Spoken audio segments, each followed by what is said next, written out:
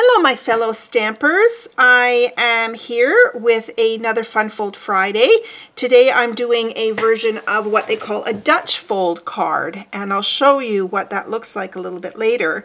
But I want to first introduce you to the Gilded Autumn suite of products.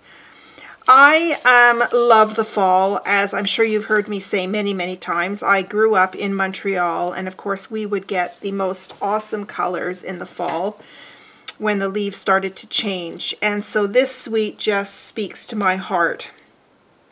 I love everything to do with different colored leaves and acorns and pumpkins and everything that fall brings, the crisp, um, sunny weather. I just love that.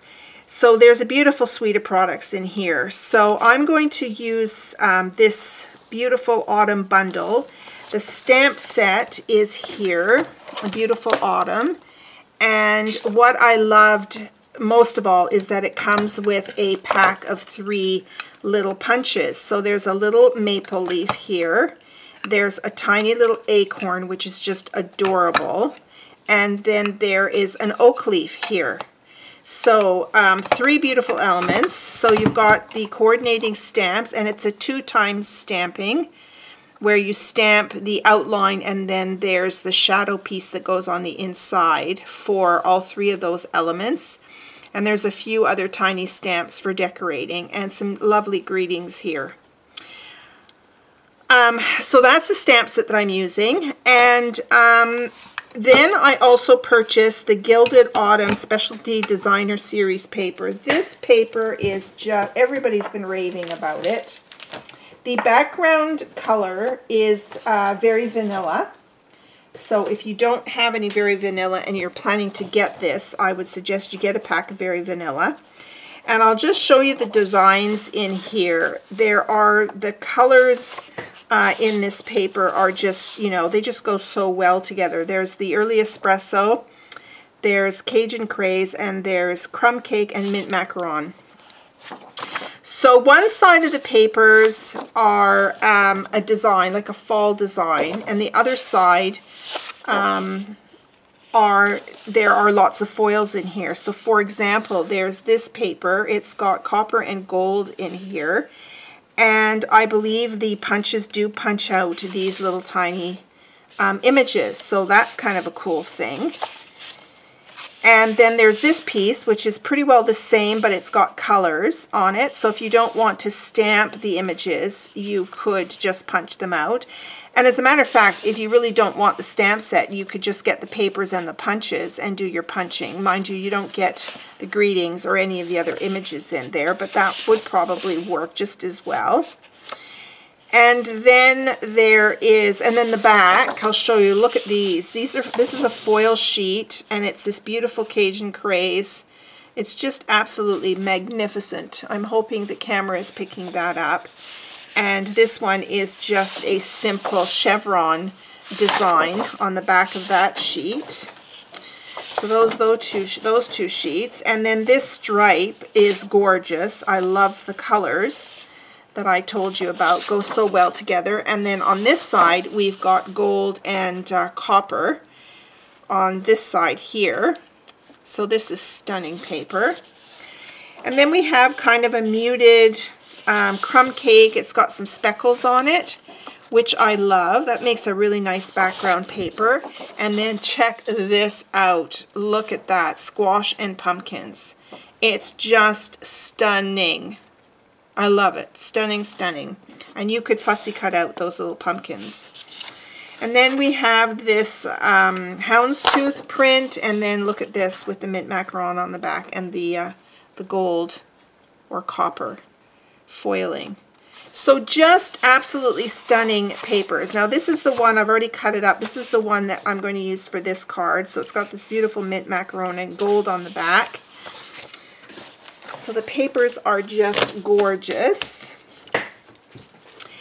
And then I also purchased the brush metallic. I love using the foils. I use a lot of gold and copper and silver foils that we have. And then these are brushed a little bit. So I don't know if the camera will pick this up, but it's almost like there's little, excuse me, tiny stripes in here. But look at this copper is beautiful. Then there's kind of a champagne color and gold.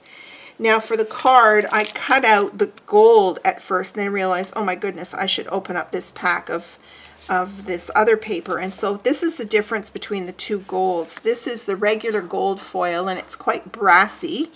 And this one is just a little bit more muted. So that's the difference between those two.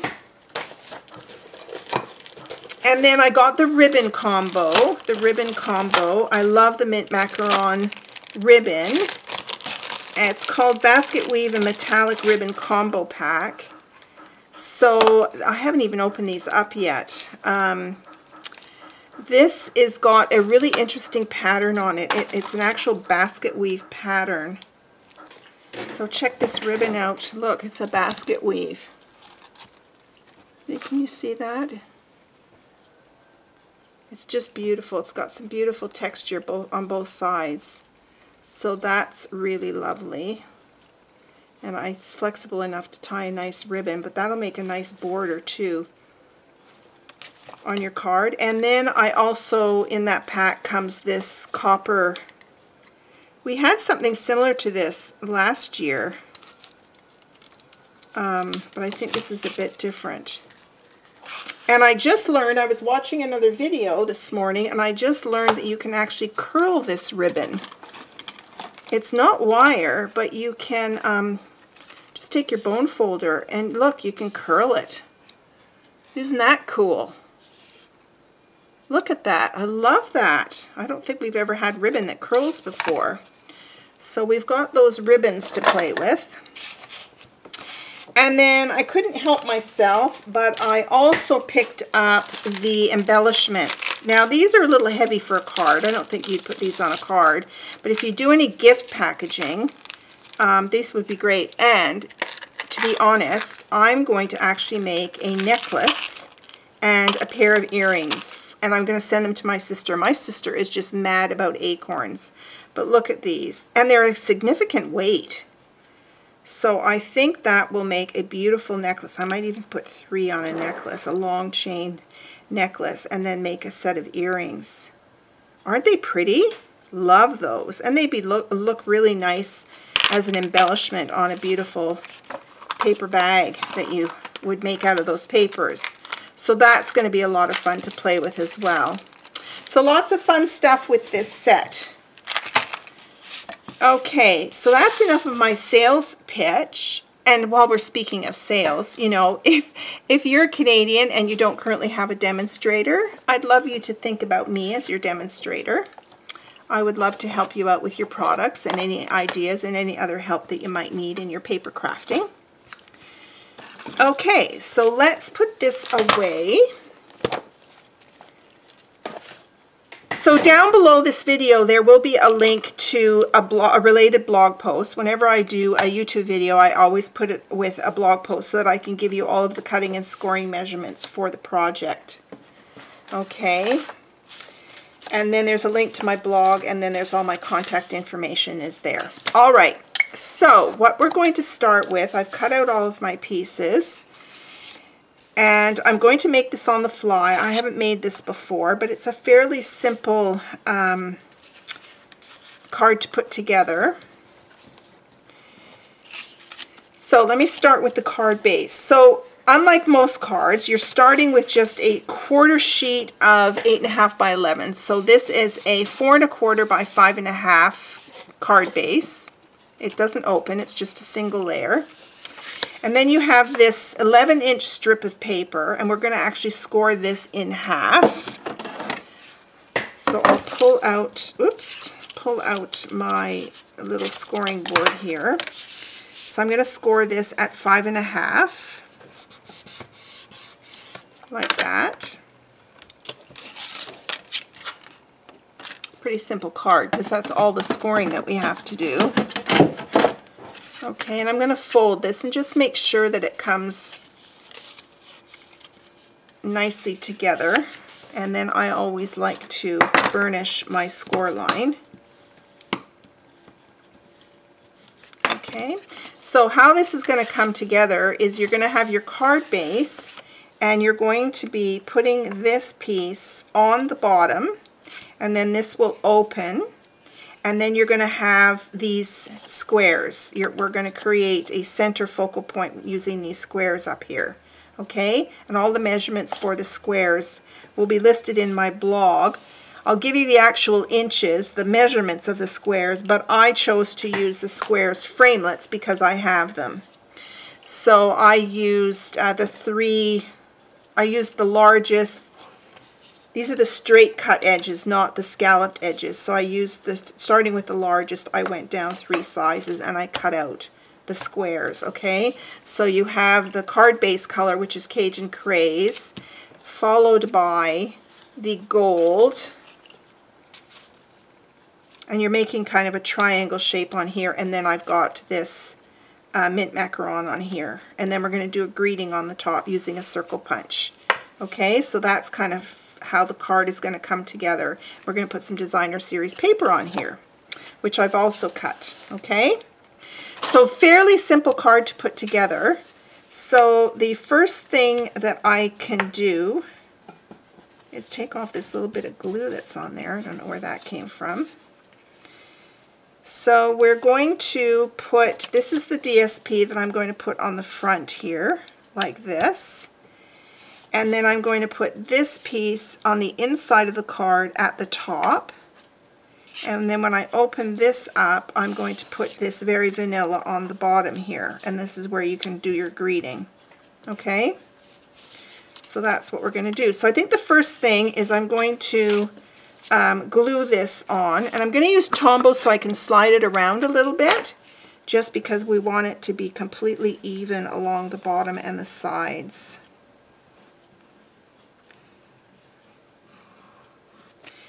So let's put some Tombow on there.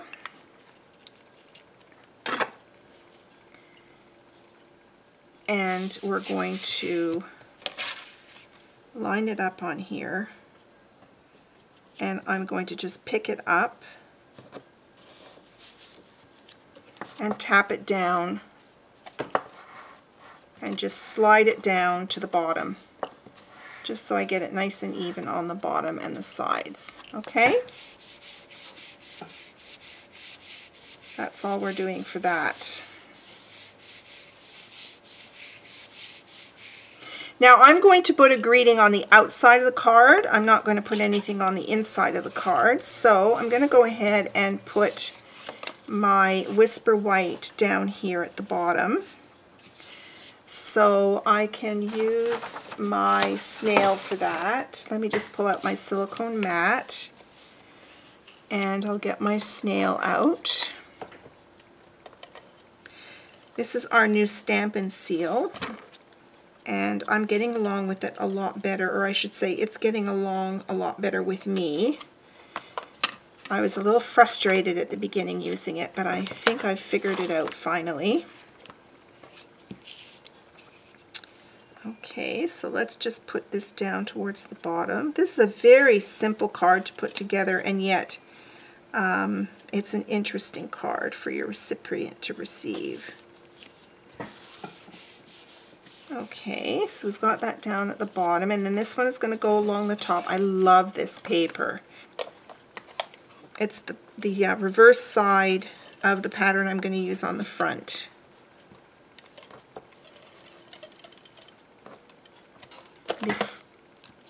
So this is going to go on the back. Oh, actually, I think I've done this. I've done this backwards, to be honest with you. No, I haven't. I'm good good to go. Yeah, good to go. Yeah, don't mix up those two sizes. Okay, so this one's going to go at the top.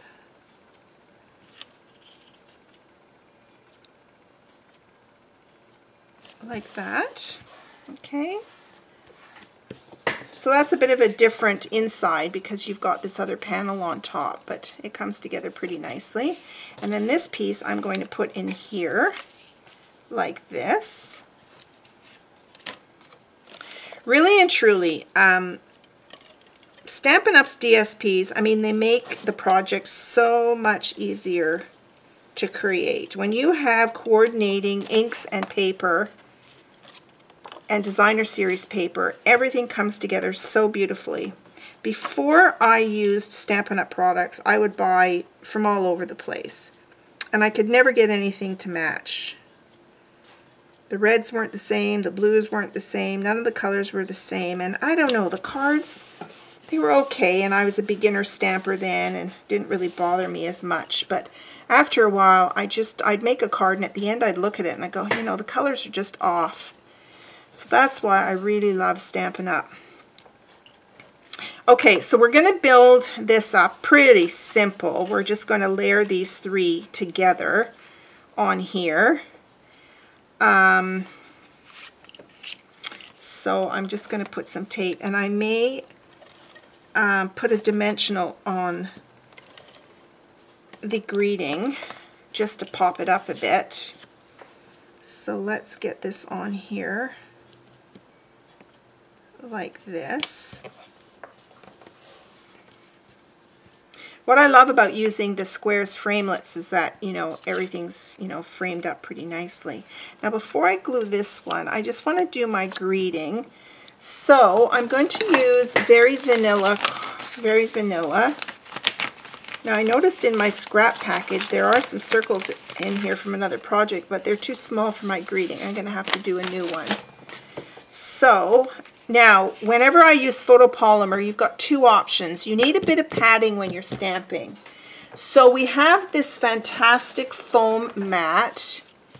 This is available in our annual catalog. This is called a, it's a paper piercing mat. It was originally designed for when we used to do a lot of paper piercing. So you use this, this is our old retired tool, pokey tool, and we would do paper piercing. We had these templates that you could poke little holes in it right?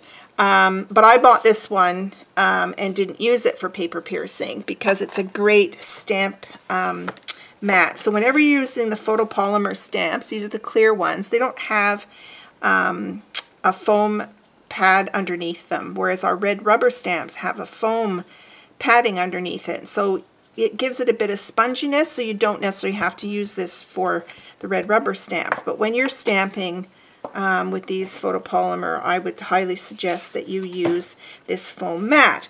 The other thing you can use is our fantastic silicone mat. This is used mostly because glues, any kind of glue, whether it's a hot glue or our Tombow glue, uh, if you get Tombow glue on here, it just rubs right off, or snail. Um, none of your glues will stick to this, so it's a fantastic um, mat to use so that you don't get your other surfaces all gooey and sticky. Okay, now I'm going to pull out the Early Espresso, which is one of the colors in the paper, and I'm going to do my greeting.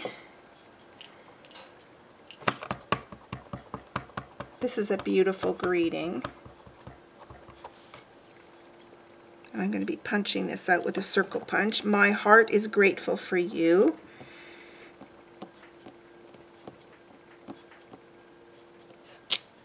That's beautiful. And then the punch I'm using is our two and a quarter inch circle punch. You could also use your circle frame, circle dies if you have those. I'm going to punch that out. Okay. Now, I'm going to show you how these little stamps work here because I'm going to add, I've already done a set, but I'm going to show you how to stamp these. So I've done a little acorn, I've done a little oak leaf, and I've done a little maple leaf. And the colors I'm using here are, this is Cajun Craze, this is Crumb Cake, this is, um, I think I used Cajun Craze again. And then this one is Crushed Curry, the orange color. Okay, so how these work, let me pull out some more um, very vanilla.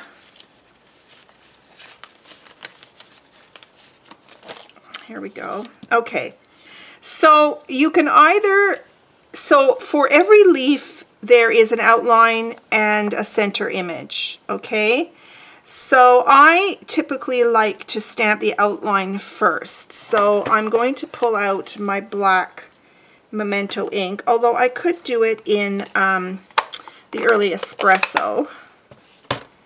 So this is my outline image. So I'm going to stamp that. And again, you're using punches, so whenever you use a punch, you always want to stamp your image towards the bottom of the paper so that you can get this into the punch. Okay, because if you stamp, you know, too high up on a piece of paper, you won't be able to punch it out. So I always recommend going to the bottom of the paper and then punching it out, okay? And then this is our fill. So let me see. I'm going to move this over here. And so I'm going to use this crushed curry for the inside of the leaf. And you just want to hover over, get your head, you have to get your head over it. Um, hover over the leaf until you see that it's lined up. And even if it's off a little bit, that's okay. I don't worry about that. See, I didn't quite stamp that right. And I kind of like that look. It's kind of like an, I always call it Art Nouveau. See, I've done it there too. I don't know if it's called Art Nouveau. But you know how often you see images and the color is offset a little bit? Maybe we should call it an offset image. Okay, so that's one. And then I've got the oak leaf. So let's do the oak leaf. And then there is a center image, and I'm going to do Cajun Craze for that.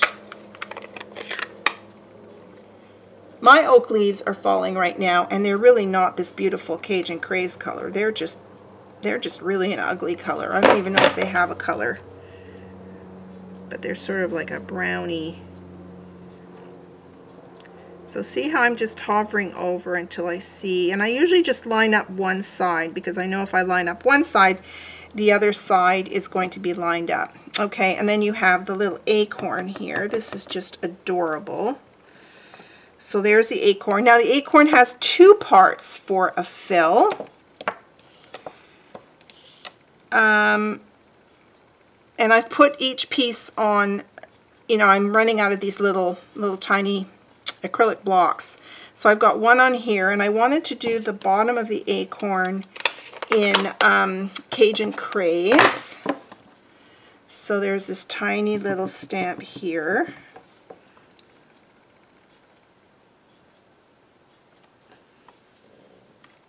Okay, and then on the back, I've got the top of the acorn, and I'm going to do that in um, crumb cake. So it looks like a little French beret, the top of this acorn.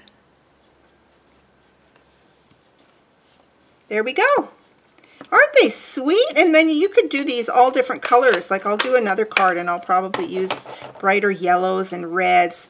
And even um, in Quebec, you know, the maple leaves would have green in it and red and yellow and orange, like all in one leaf. And they're just absolutely stunning. Okay, so now we're going to punch them out. Let's start with the little maple leaf. Now these will go flying. So I usually, and they line up beautifully, so I just put them in the palm of my hand. Here's the oak leaf.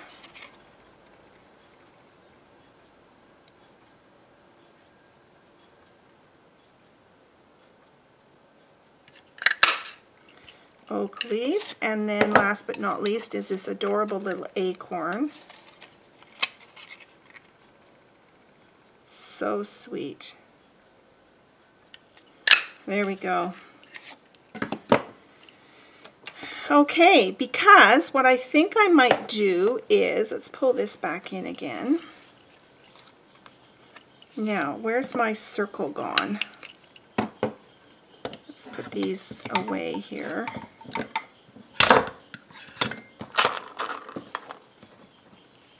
If I'm lucky, it's right underneath my silicone mat. No, it's not. Okay, what happened to, well, here it is. Here's my circle. This is going to go on top of here. Like that. Now, this is a bit plain looking to me. So what I could do is just stamp, I'm going to stamp a few leaves around here. So let me pull in, I don't want to get ink on my silicone mat, let me just pull in, I always have scrap paper in this drawer next to me. Let's just pull this in and I'm going to do this in um, you know I might even just do it in mint macaron just to blend it in a bit. And I will just um, let's see let's do this little oak leaf I'll just clean this like this because there's not too much ink on here. Okay. And we'll just stamp on and off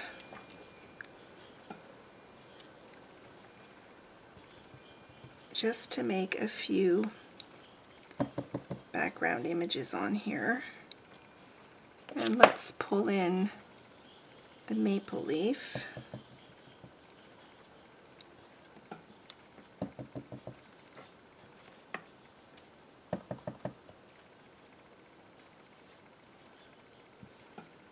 And I keep turning the stamp in different directions. So the oak, the maple leaf, and I could do a few little acorns in here too.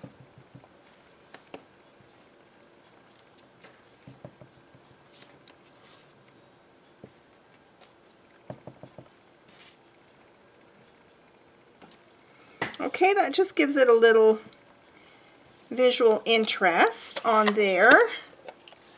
And then we will, this will go on top like that. And I think I'm going to sponge around that circle just to get it to stand out a little bit. And I'm going to sponge it in, um, maybe I'll sponge it in Cajun Craze. There's my Cajun Craze. Let's just pull out my ink pad here.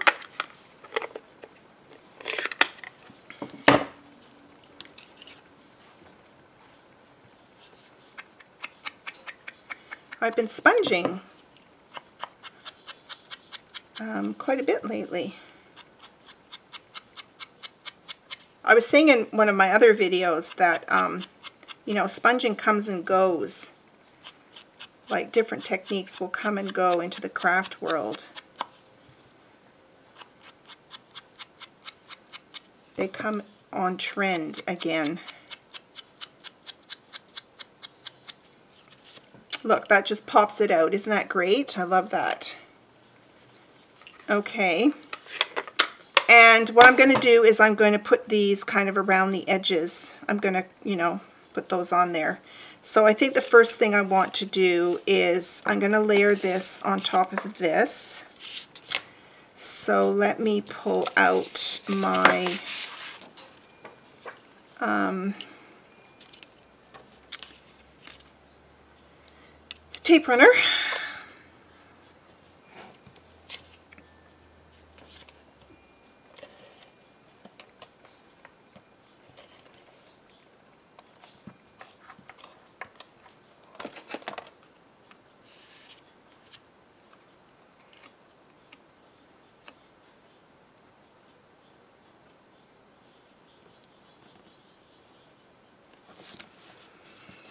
Okay, and I'm going to put these on dimensionals.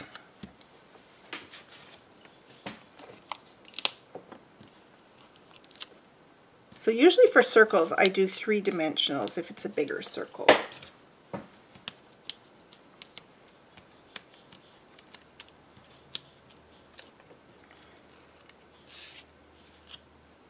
Now before I do that actually, let's see where this is going to sit on the card. It's going to go on an angle. So you want to decide. Now I'm going to do some, these little bits I'm going to put like along the top here. So these acorns I think I'll put at the bottom. like this. Now, you're only going to glue this, so if you open up the card, you're just gluing half of it down on the bottom, okay? And I'm going to use Tombow again. Anytime I want to slide, um, let's make sure I'm doing this right. I'm putting glue here. Anytime I want to slide something around, I use Tombow.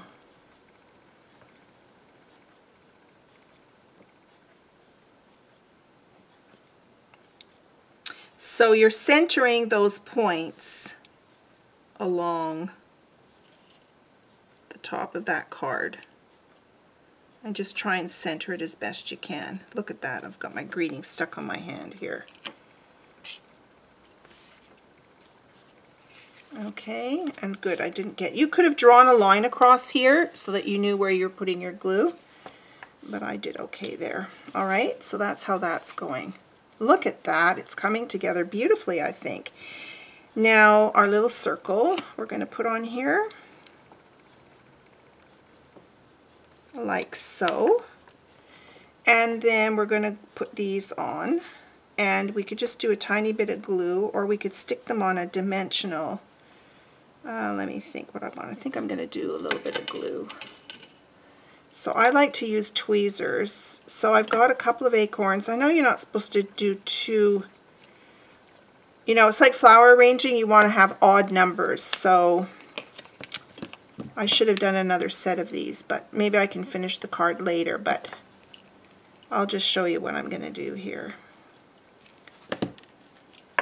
So we'll put a little acorn right here.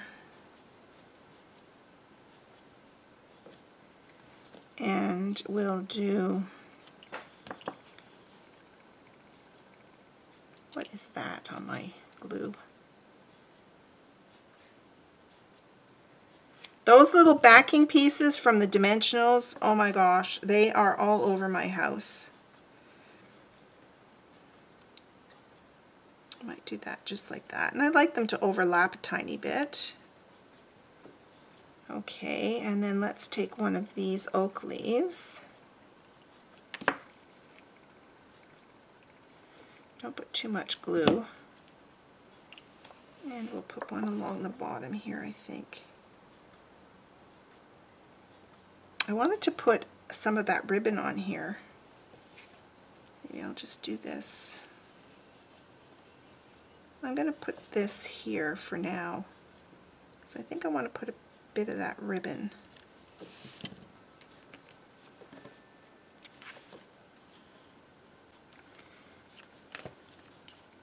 Okay, so these others, I think I'll put on the inside of the card. There's an idea.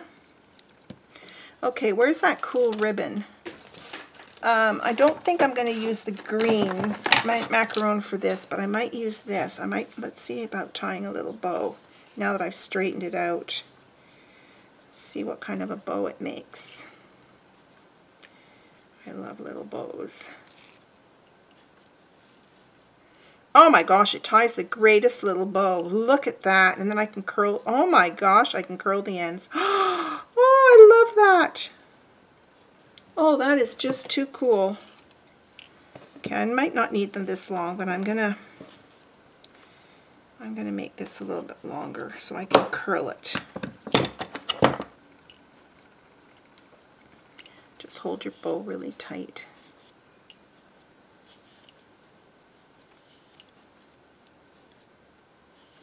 Well, that is just the best thing since sliced bread, I'm telling you.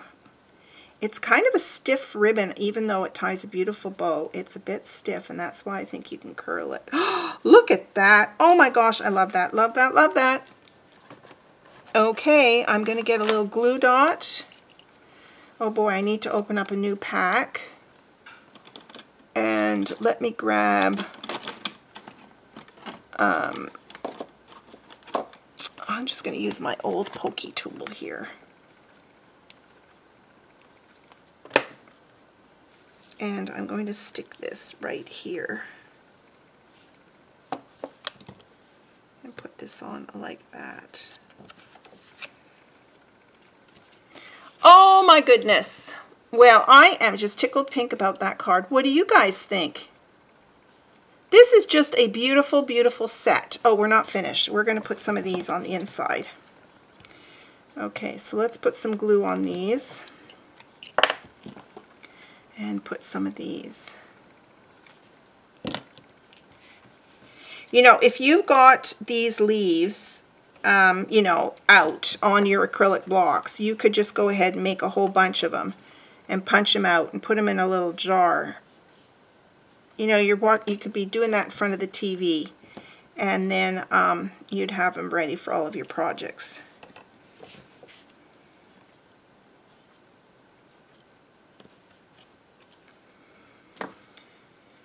Okay, and then a little acorn.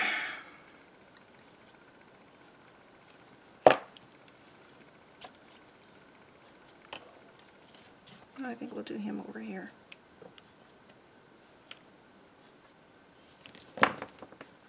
Okay. There's your card. I'm really pleased with that. So I hope you'll consider getting some of these products if you don't have them already and trying one of these cards. That was a very simple, fun fold to put together.